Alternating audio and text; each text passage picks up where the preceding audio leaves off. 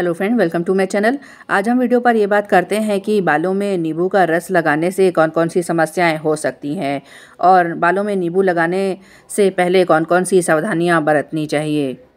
बालों पर नींबू का रस लगाने से कई फ़ायदे हो सकते हैं, लेकिन सही तरीके से बालों पर नींबू का रस न लगाने से बालों को कई नुकसान भी हो सकते हैं।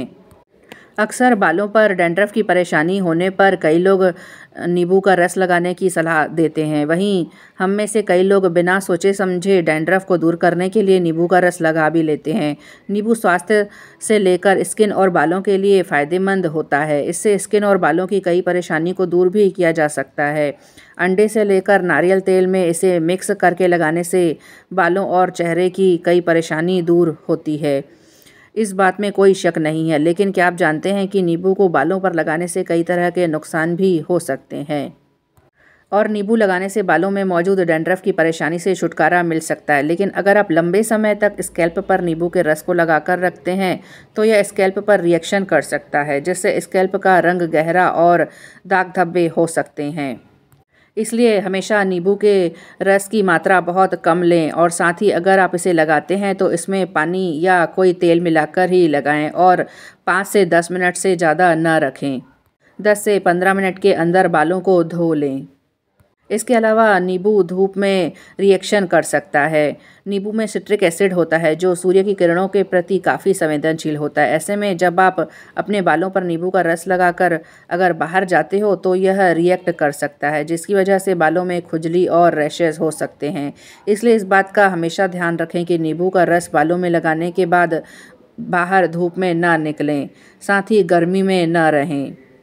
इसके अलावा बाल रूखे भी हो सकते हैं। नींबू के इस्तेमाल से बालों का रूखापन हो सकता है, लेकिन अगर आप बार बार बालों पर नींबू का रस लगाते हैं तो यह आपके बालों को रूखे और बेजान बना सकता है। इसलिए इसका इस्तेमाल सीधे तौर पर करने से बचना चाहिए। तेल या फिर दही के साथ मिक्स करके इसे अपने बालों पर लगाएँ और बालों पर नींबू का इस्तेमाल 15 से 20 दिन में ही करना चाहिए। इसे बहुत जल्दी जल्दी बालों पर अप्लाई नहीं करना चाहिए।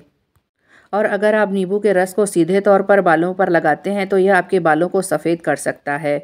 नींबू के रस में सिट्रिक एसिड होता है, जो बालों के केराटिन और को निकाल सकता है। केराटिन एक प्रोटीन है, जो हमारे बालों की रंगत को सुधारने में असरदार होता है। ऐसे में बालों पर नींबू को ज़्यादा देर तक लगाने से और लगाने से पहले इसमें कोई अन्य चीज़ें, जैसे नारियल तेल, बादाम, दही, बादाम का तेल, दही जैसे मिक्स ज़रूर करें।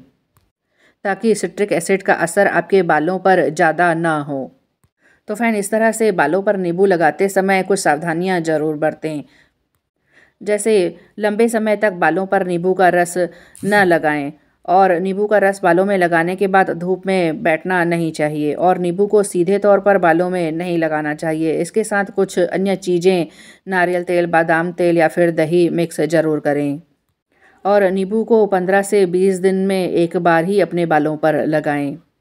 तभी नींबू का रस आपके बालों के लिए फ़ायदा पहुँचा सकता है। बालों में नींबू का रस लगाने के बहुत सारे तरीके हैं। आप चाहें तो नींबू के रस में पानी की कुछ बूंदें मिलाकर लगाएँ और नींबू के रस को तेल में मिलाकर भी लगा सकते हैं। साथ ही नींबू के रस और शहद को मिलाकर लगाएँ। इसके अलावा नींबू के रस और ऑलिव ऑयल को भी मिलाकर लगा सकते हैं। नींबू के रस और अरंडी के तेल को भी मिलाकर लगा सकते हैं। साथ ही आप चाहें तो नींबू के रस को शैम्पू में मिलाकर भी लगा सकते हैं। और आप चाहें तो नींबू के रस और शहद को मिलाकर भी अपने बालों को 10 से 15 मिनट के बाद धो सकते हैं। इसीलिए ज़्यादातर एक्सपर्ट नींबू के रस को अन्य चीज़ों के साथ मिलाकर लगाने की सलाह देते हैं। नींबू के रस में काफ़ी मात्रा में सिट्रिक एसिड होता है, जिससे बालों का केराटिन निकल जाता है। अगर आप सही तरीके से बालों पर नींबू के रस को लगाते हैं तो नींबू का रस स्कैल्प में कोलेजन को बढ़ाता है, जिससे बालों की ग्रोथ तेज होती है। साथ ही नींबू रूसी को ख़त्म करने में भी मदद करता है, और नींबू और शहद का मिश्रण सूजन रोधी गुणों वाला होता है। नींबू और शहद का मिश्रण फंगल संक्रमण को रोकता भी है। बशर्ते कि आप नींबू का रस बालों में लगाकर पंद्रह से बीस मिनट से ज़्यादा बिल्कुल ना रखें।